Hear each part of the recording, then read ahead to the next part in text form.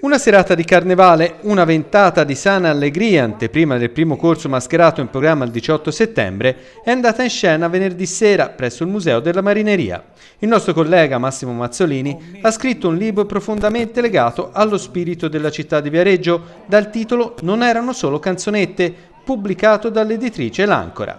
Un lungo viaggio in parole e immagini che parte dal 1925 con la prima festa della canzonetta al Teatro Eden per arrivare ai giorni nostri.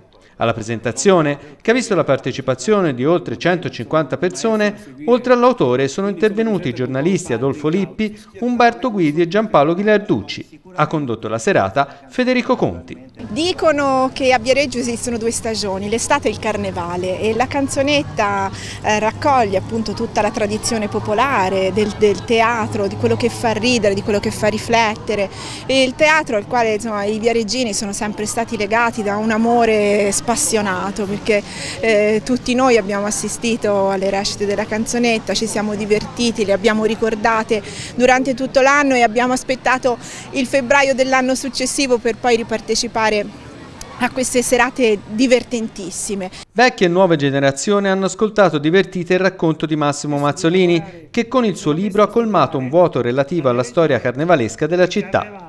L'applauso scrosciante del pubblico è stato l'indice di gradimento del suo accorato intervento. Io ho conosciuto questo spettacolo nel 1977 e da allora, prima con Enrico Casani, poi con la compagnia Burlamaco 81 che nasce proprio nell'81, abbiamo sempre, tutti gli anni, portato avanti uno spettacolo. Quest'anno sarebbe stato il quarantennale, ahimè il Covid non ci ha ancora permesso di festeggiarlo e mi auguro che questo si possa fare il prima possibile. Quando un soffio di Viareggio che ti canta una canzone. In chiusura due momenti diversi, uno emozionante con la voce della splendida Susanna Pellegrini accompagnata dal maestro Grazzini, l'altro divertente con Lora Santini e Antonio Meccheri. Eh, com'è? E gli ho detto Mazzolini! Abbi pazienza, Enrico, ma non puoi rivenire un altro giorno, non ancora Scusa, mi potevi telefonare? E ti ho telefonato, ma tua mamma ha risposto, ma ha detto è sulla giostra, andiamo qui della giostra.